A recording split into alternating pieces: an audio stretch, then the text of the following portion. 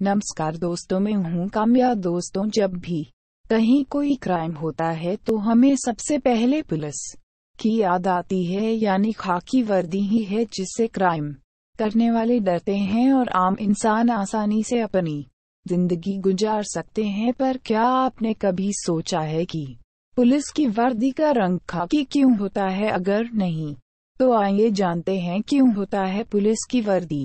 का रंग खाकी। दोस्तों, अगर अपने मेरा चैनल सब्सक्राइब नहीं किया है तो सब्सक्राइब कर ले। मैं हमेशा नए नए टॉपिक पर वीडियो बनाती रहती हूँ। आज भारत में खाकी वर्दी पुलिस की बड़ी पहचान मानी जाती है। कोलकाता को छोड़कर देश के सभी राज्यों की पुलिस की वर्दी खाकी ही है। बस कहीं पर इसका रंग थोड़ा हल्का तो कहीं पर थोड़ा गहरा है, जिससे हर जगह पुलिस को देखते ही लोग दूर से ही पहचान लेते हैं। ऐसे अब सवाल यह उठता है कि पुलिस की वर्दी का रंग खाकी ही क्यों होता है?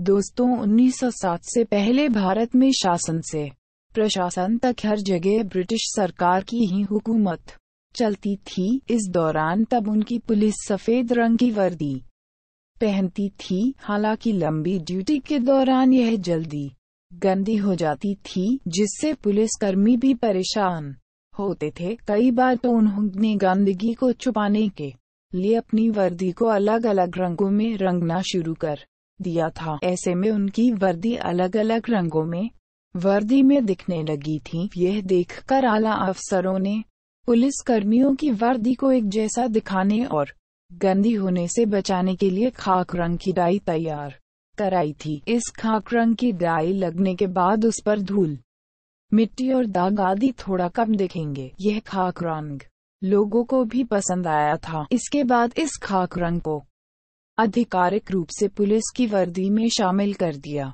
गया था। कोलकाता पुलिस की वर्दी का कलर आज भी सफ़ेद है। इसके सफ़ेद होने के पीछे की वजह थोड़ी अलग है।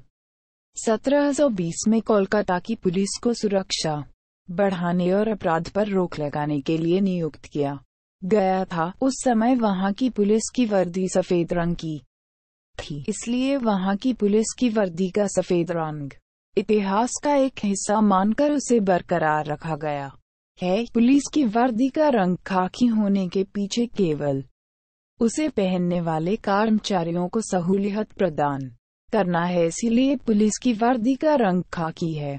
दोस्तों, यह वीडियो आपको कैसा लग प्लीज़ कमेंट करके बताए धन्यवाद।